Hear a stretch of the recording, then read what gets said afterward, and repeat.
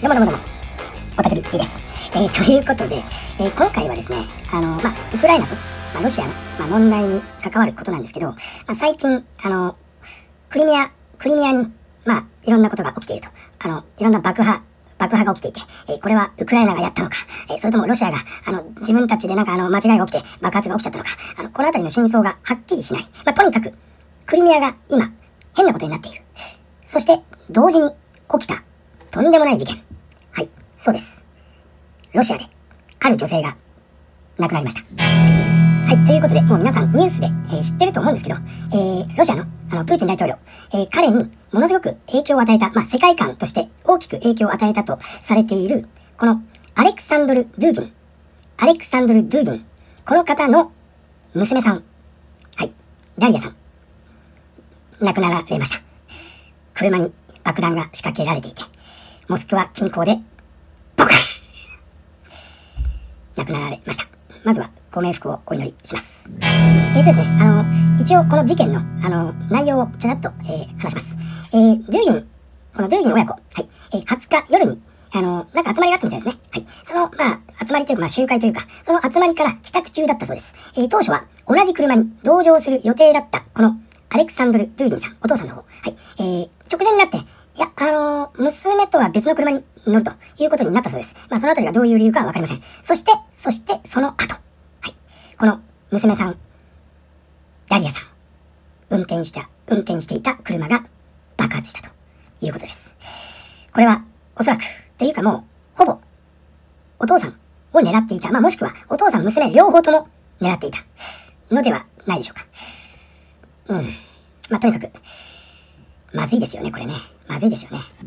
ということで、えー、まず、この記事の内容から、まあ、今回のこの事件から、あの、あまり聞かない名前、そしてあまり聞かない、えー、キーワード、そして、ある人物が浮き上がってきました。というのは、えー、ちょっと後で言う。まずは、このアレクサンドル・ドゥーギン、アレクサンドル・ドゥーギン、この方がどんな方なのか、ちゃちゃっとまず、皆さんと共有します。はい、えー、このアレクサンドル・ドゥーギンさん、この方は、えー、まあ、ロシア人です。はい。そして、えー、まあ、ロシアの政治活動家、そして、まあ、地政学者、それから政治思想家、哲学者、まあ、いろんな顔を持ってる人物なんですね。えー、とですね、まあ、あの、まあ、おたけび G もそんなに詳しくなくて、本当に一夜漬けで勉強した内容なので、えー、もし間違いがあったら指摘してください。まあ、とにかく、今までほとんどの方が聞いたことのない、特に日本人は聞いたことのない名前、人物、アレクサンドル・ドゥーギンさん。はい。この方はですね、ソビエト連邦、まあ、まあ、今のロシア、えー、まあ、モスクワ出身。はい。2008年から2014年まで、モスクワ大学で教授も務めていたそうです。そして、クレムリンに影響を、影響力を持つ存在だとされ、レフ・グリミオフに始まるネオ・ユーラシア主義の代表的な思想家の一人とされています。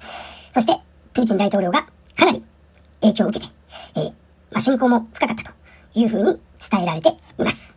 ということで、ちょっとだけ経歴とかにも触れてみましょうかね。はい。えー、1962年1月7日、ソ連、ソ連軍参謀本部情報総局っていうのがあるんですかね。そこの、えー、中佐になっていたお父さん。はい。そして、医師のお母さん、あ、お医者さんね。はい。お医者さんのお母さんの間に生まれたのが、このアレクサンドル・ドゥーギンさんです。はい。えーと、そしてですね、1970年代には、えっ、ー、と、まあ、作家のユーリ・マムレーエフっていう方の、あの、ユジンスキーサークルってのを訪れて、えー、まあ、あの、神秘主義思想とか、あと、ナチズムのオカルト系の、そういうのにもハマってしまったと。で、その後に、まあ、フランスの新しい右翼っていう、まあ、団体とも接触していたというようなことを伝えられています。まあ、その後ですね、1980年代になると、この反体制活動家だった、このアレクサンドル・ドゥーギンさんは、保守系に変わっていくんですね。はい。あのー、まあ、それには一番大きな理由としては、ソ連崩壊。まあ、ここが一つのターニングポイントになってるわけです。はい。あの、まあ、保守といっても、まあ、お国が変われば、まあ、ちょっと考え方も多少変わると思います。あの、要は、まあ、スターリンを、まあ、もう一回、こう、再評価してですね、まあ、ソ連をもう一回取り戻すというような感じのところに行き着いて、そして、まあ、ユーラシア大陸、ね、ユーラシア主義、みたいなね、そういう、なんかちょっとまあ日本人には分かりづらいというか、あまりおたけ自身も理解できないんですけど、えー、そういうような思想に変わっていったということで、このあたり、ちょっと複雑な方ですね。はい、ということで、これ以上説明を、えー、長く長くしてしまうと、もう時間もないし、もう、複雑すぎて分かんなくなっちゃうので、この辺りでとりあえずおしまい。じゃあ、これ誰がやったんだ？というところが一番重要な問題だと思うんですよね。ウクライナ？ウクライナ？はい。ロシアはそう言っています。ロシア側はそういうふうに言っております。しかし、ウクライナはんなことはしてませんと。そんなことするわけないでしょって言ってます。そして、あるキーワードが出てきました。NRA。NRA。えっとです、何回も言います。あの、ロシア側はウクライナがやったということで、えー、重要人物として追っかけているある女性がいて、その女性も今、ロシアから逃げたと。まあ、それを今もう捕まえ、捕まえるぞみたいな感じの、まあ、ノリでロシアは言っています。そして、かたやウクライナの方は、いやいやいやいや違うでしょうと。それは FSB、はい、ロシア連邦保安庁、お前らが自分たちでやったんだろうというような、まあ、もう、なんか意味不明な言い合いをしております。そこで、新しい情報として、この NRA、ここがやったんだと。さて、これは何なんでしょう？はい、ということで、この NRA、これは何かと言いますと、ロシアにある地下組織、国民共和国軍というふうに呼ばれています。はい。本当？あるみたいよ。はい。ということで、このロシア国内の反プーチン地下組織、地下勢力、はい。この国民共和国軍 NRA が自分たちがやったということで、犯行声明を出しました。っていうような、えー、情報が、なんかの、ネット上で流れ込んでいます。うん、本当なのかなで、なんかね、いろいろ見るんだけど、見るんだけど、なんか、本当っぽいような気もします。まあ、要はこの NRA の声明文の中では、プーチン大統領は民族戦争を起こして、ロシア兵を無意味な死へと追いやった、まあ、軍事犯罪者だと批判したというような感じでですね、えー、まあ、ただ、このことを、あのー、むちゃくちゃ言ってるのが、イリア・ポノマニュフ。名前が言いづらいな。イリア、イリア、イリア、ポノマニョフ、ポノ、ポノ、違う、ポノ、ポノマニョフ、ポノマニョフ。はい。んともう何なんだろうな、もう、ポポノとかポル、ポポポポルノ、ポルノマニョフ。ダメだよ、そんな冗談言ったら。もう一回、もう一回やり直し。はい。この、イリア・ポノマニョフ。この方がですね、言ってるんですよ。この方、じゃあ、何を言ってるかと言いますと、えー、イギリスのガーディアンによると、ロシアの元野党のまあ、議会議員で反体制派として国外追放されたイリア・ポノマニョフ47歳。この方が現在拠点にしているウクライナの首都キーウで21日 NRA について語ったということで、まあ、要は、あの、この方が言ってるんですよ。今回のこの事件は、この NRA によるプーチンへ対しての制裁だ、みたいな感じで言ってます。じゃあ、このイリア・ポノマニョフ。あ、言えた、言えた。この、ポノマニョフ。この方どんな人なんでしょう？これを皆さんに共有して今回は終わります。えーとですね、もうあの、時間もないんで、あの、簡単に、簡単に、このおたけびじいが言いたいポイントをわかるように皆さんに説明します。はい。イリア・ポノマニョフ。はい。正式名は、イリア・ウラジロミッチ、イラジロ・ウラジロビッチ、ポポロ、ポロ、ポ、ポ、ポ、もう一回言います。正式名は、イリア・ウラジロビッチ、ポノマニョフ。もうね、この、この辺りの名前をね、あの、もう言うのに一言。いや、それはいいんですよ、どうでも。ということで、この方は、はい、もともと、ロシアの政治家でした。はい。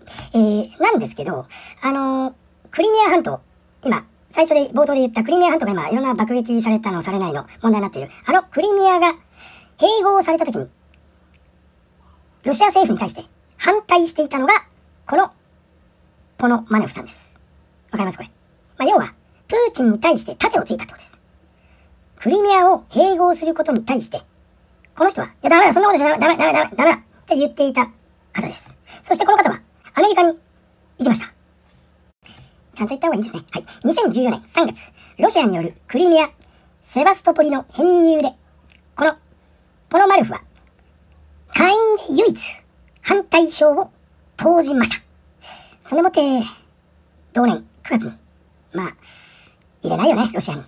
そして、なんと、アメリカに、アメリカに、亡命しちゃいました。なんで？なんでアメリカ？ここ、ポイント、出ました。また、ここでも、アメリカ。アメリカです。やっぱり、アメリカです。とにかくですね、このイリア・ポノマネフ、なんか、いろいろこう調べていくと、なんかむちゃくちゃごちゃごちゃありますね。もっと伝えたいんだけども時間ないんで、とりあえず、このポノマニョフさんまあ、プーチンに、あの、歯向かって、で、アメリカに亡命して、そしてその後に、なぜかわかんないけど、ウクライナの国籍を取って、ウクライナにいると。そして、今回のこの爆破事件、あの、あのクリミアの方じゃないですよ。あの、ロシアのこの、車爆発、車爆破。まあ、テロですね、これね、もうね。あもうテロみたいなもんです。これに関わったのは、RNA なんだよと。そして、この方は、続いてこういうふうに言ってます。まだまだ続くと思いますよ。プーチンの周りにいる方は気をつけてください。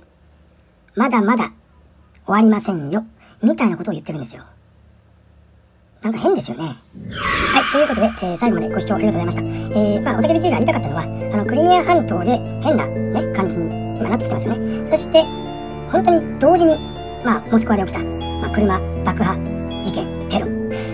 そして、そこを調べていったら出てきた、この、ポノ、ポノ、ポノ、ポノマニフさん。この方が言っている RNA、その、まあ、存在。そして、まあ、言ってるお前は誰なんだ？と調べていくと、また出てきたアメリカ。そしてアメリカ経由でウクライナ国籍。これ何なんでしょうね？皆さん、もし、こうじゃないのかな？って思う考えを持ってる方は、褒めてください。勉強したいです。勉強したいです。